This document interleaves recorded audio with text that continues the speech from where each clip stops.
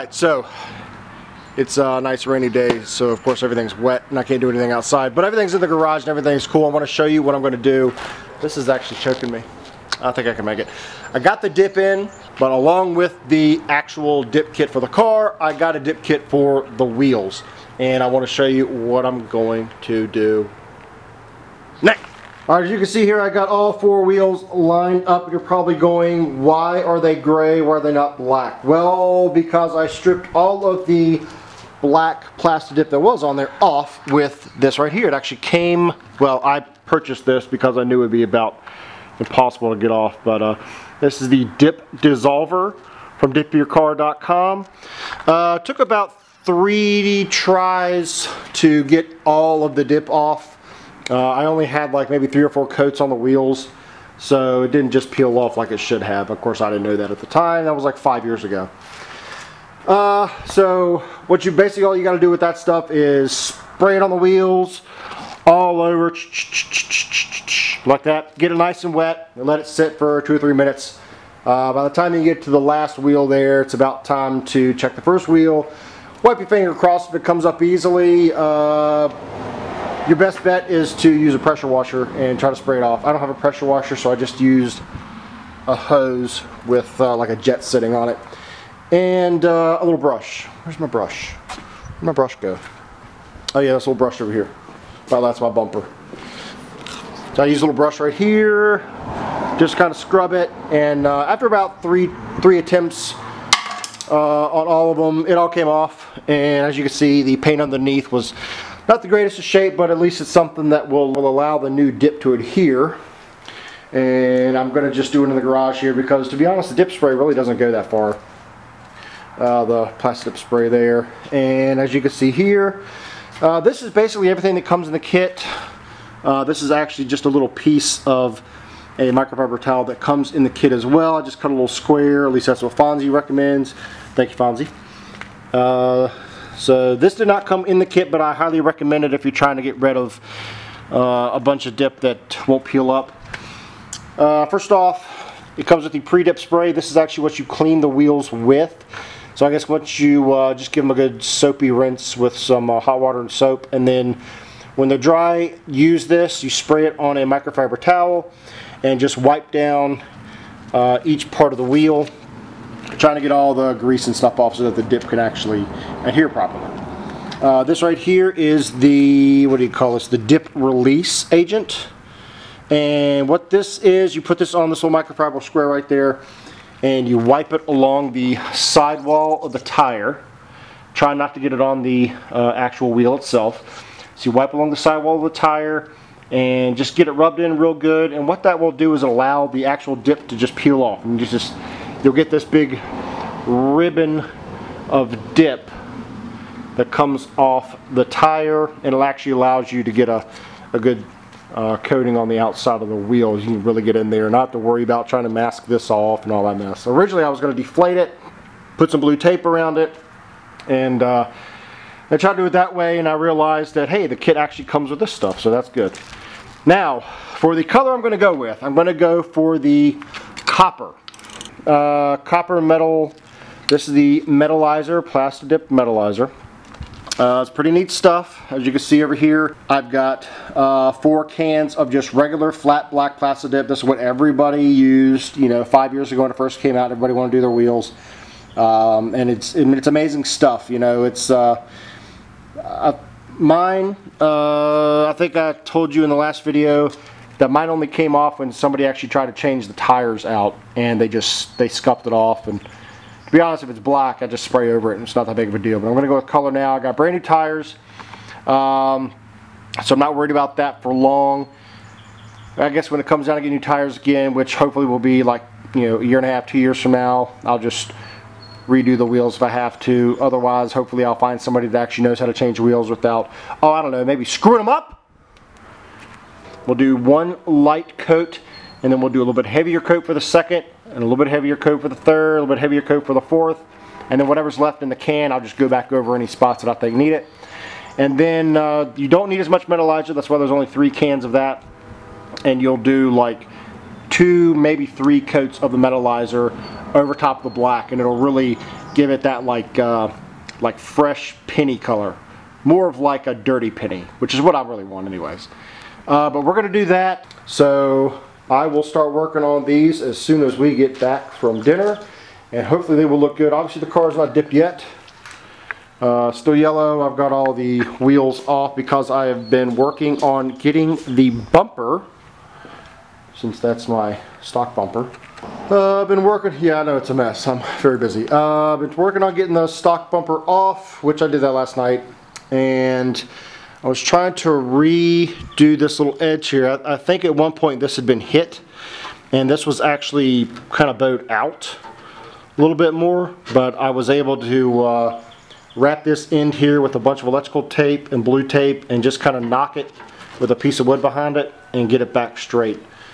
Um, it really wasn't anything crazy, but it was something that really only I would ever notice. But I notice things like that and then they just make me cringe.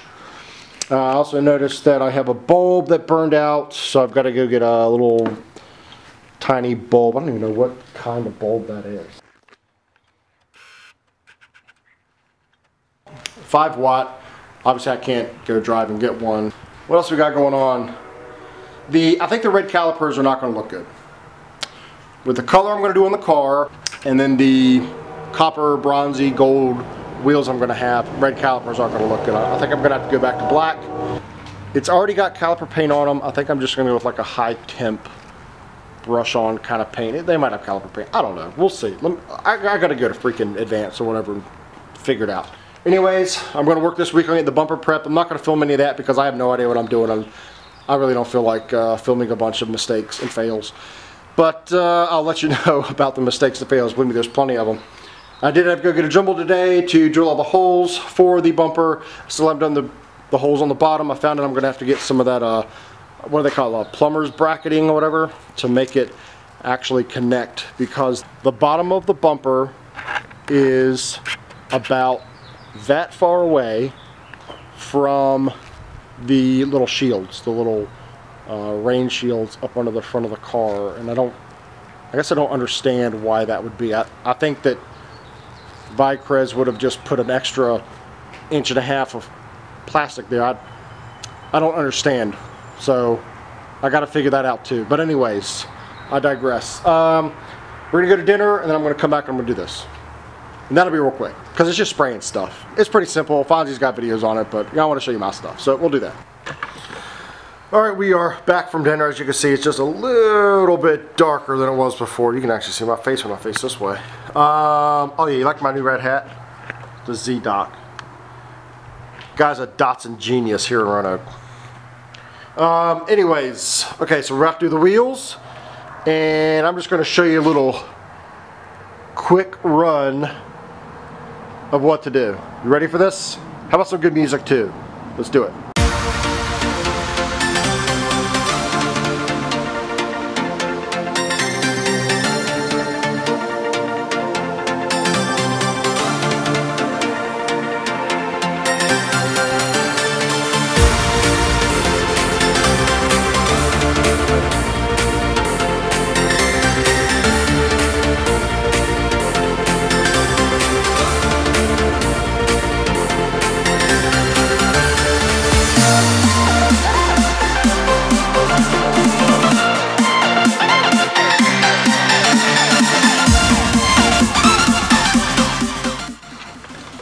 All right, so luckily the humidity has dropped a little bit and everything has dried up pretty quick. What I did was I used the pre-dip spray and cleaned the wheel off really well and then I used the dip release agent and just got a little bit on a microfiber towel and went around the actual tire itself, just the sidewall. And what that does, it'll allow the uh, dip to release off the tire so that I can just peel it off. I don't have to worry about masking it off or anything. So it, we'll see how that works, but it should come in handy. I did all four wheels. Uh, now we're going to start with the first uh, base coat of just the black matte Plastidip spray and aerosol. And I actually have one of the little sprayer majiggies.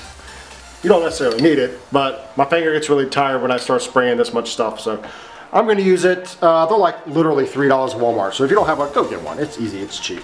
So I'm gonna take these four wheels and just do a real light coat. Uh, I'm not trying to make a real thick wet coat or anything with it.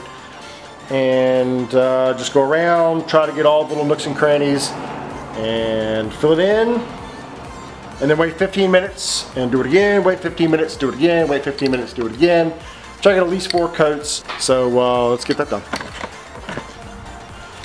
By the way, this came in the kit and it should help quite a bit. Obviously the garage door is open so it's not that bad.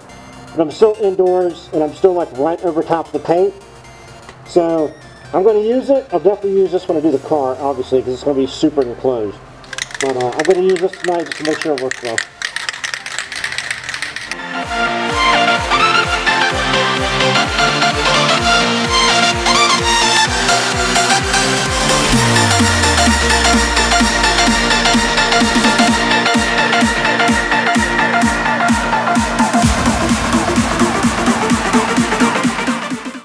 All right, ready for the second coat.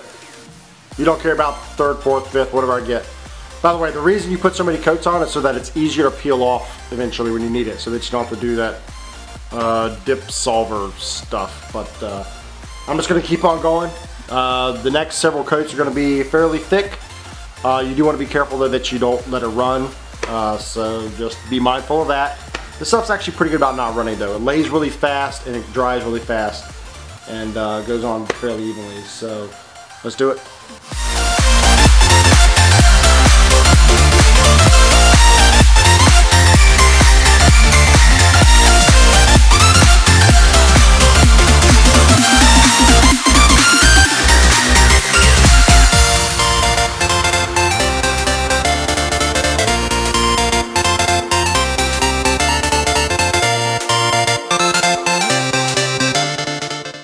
So, it's uh, probably two and a half hours later, maybe two hours later, two hours later from the time I started uh, spraying these things. And I ended up putting like six coats on them just because I wanted to make sure they were good.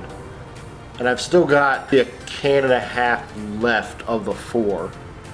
And the only thing I can contribute that to is that these are stock AP1 16 inch wheels. There's not a lot of surface area. And I'm pretty sure Fonzie is used to spraying like 20 inch Vossen wheels.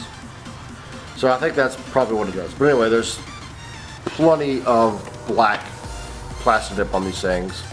So now I've got the metalizer and I'll do uh, probably three coats of this. Then I think I'm done for the night. I'll just let them dry for probably 25 minutes after that and go ahead and peel everything off of the sidewall and then go to bed because I'm tired. And I had to bring a chair over here so I could sit down.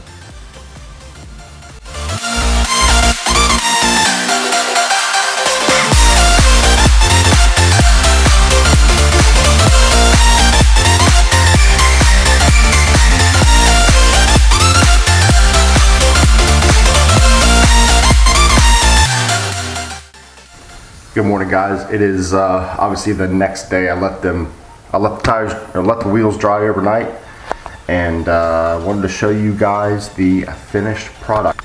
This out here, I've already peeled off the excess around the actual uh, tire, and just gave it a good rub down um, with the one of the microfiber cloths. But check it out.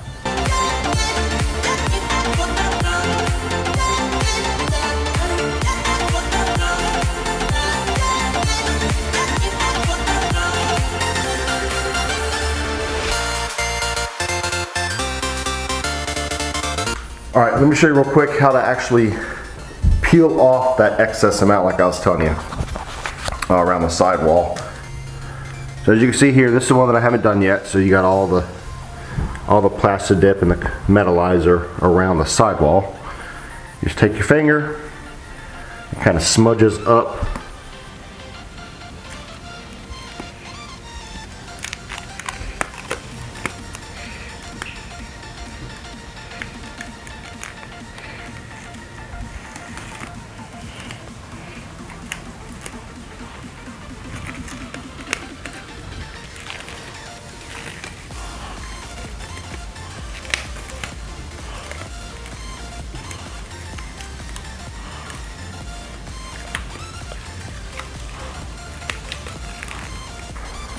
So it comes off in a nice long strand there. This one just happened to break. Yeah, it's going to do that sometimes.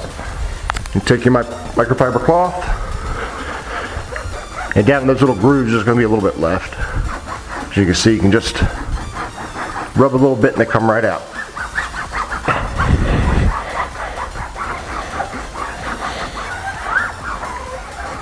And that's it. Obviously the valve stem's been painted, but loosen them up, they come right off. No big deal. They're not like stuck on there like if you'd actually really painted it. Uh, so I'm going to do the uh, last two tires here and uh, go ahead and put them back on the car so I can uh, actually be able to go somewhere today if I have to. And uh, I'll see you guys on the next video. Peace out.